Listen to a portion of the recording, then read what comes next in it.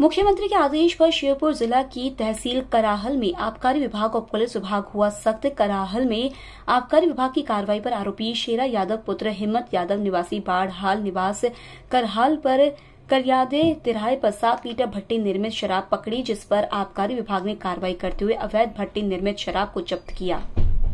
धीरज सिंह करहाल की रिपोर्ट।